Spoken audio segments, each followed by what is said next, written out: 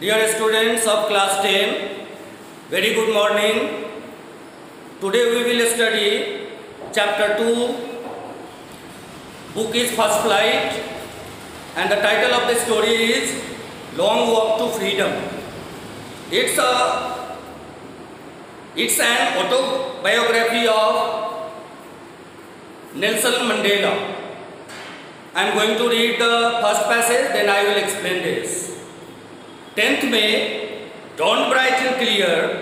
For the past few days, I had been pleasantly besieged by dignitaries and world leaders who were coming to pay their respects before the inauguration. The inauguration would be the largest gathering ever of international leaders on the South African soil. It was 10th May, bright sunny day. Nelson Mandela was surrounded by many dignitaries who have come from different parts of the world to take part in the inauguration ceremony. It was the largest gathering in the history of South Africa on its soil. Now I am going to read the second passage of the story. The ceremonies took place in the lovely sandstone amphitheatre formed by the Union Building of in Pretoria. For decades, this had been the seat of white supremacy and now it was the site of the rainbow gathering of all different colors and nations of installation of South Africa's first non-racial government. Meaning of this passage is this opening ceremony took place in an amphitheater. Amphitheater means a building having no roof and rows of seats.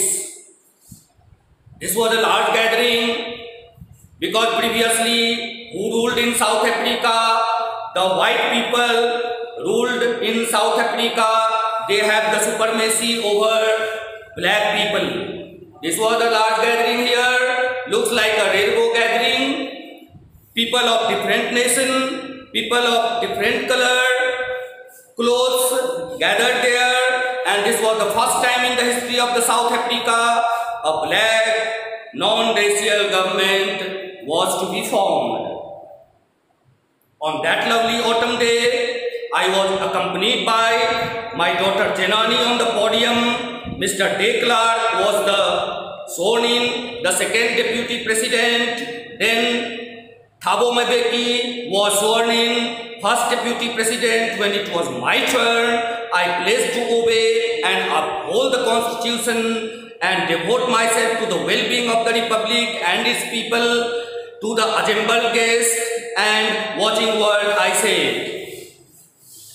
this was the autumn day. We all know in the month of May, in India, it is summer season. But because of the location on the it is autumn season in South Africa. On the stage, Mr. De Klerk was sworn in as the deputy, second deputy president. Mr. Thabo Mbeki was chosen as the first deputy president and he took a oath as the first deputy president. Then whose turn came? It was Nelson Mandela's turn. He devoted himself for the republic of his own nation and people of his nation and he also thankful to the gathered guests, assembled guests who were watching the inauguration ceremony.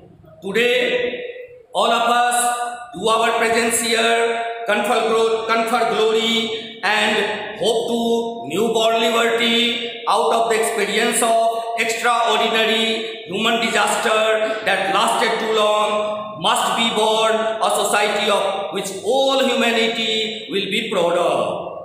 Nelson Mandela addressing the gathered guests and the people of South Africa telling them that at last we have got freedom. This is the extraordinary disaster in South Africa for the black that uh, was going to be end today. Now there will be a form of government. Uh, every person will be proud of. We who were outlaws not so long ago have today been given the rare privilege to be the host of the nation, the world on our own soil. We thank all our distinguished international leaders for having come to take position with the people of our country of what is after all a common victory for justice, for peace and for human dignity. We have at last achieved our political emancipation. We pledged ourselves to liberate all the people from the counting bondage of poverty, deprivation, suffering, gender and other discrimination. Never, never and never again shall it be that the beautiful land will again experience the operation of one by another. The sun shall never get on so glorious a human achievement let freedom reign, God bless South Africa. Now Nelson Mandela is saying we were outlaws, means they don't have or they didn't have the right to take part in any political system in South Africa. Now they were free and the guests who have come from different part of the country, Nelson Mandela is saying this is the common victory for people, for justice, they will have peace and every human being will lead their life with dignity. Now, at last, Nelson Mandela is saying, we achieved freedom. Emancipation means freedom. Then he took a oath that all the people will never uh, uh, feel any discrimination on the basis of gender, on the basis of color of the skin, nobody will become bondman of others.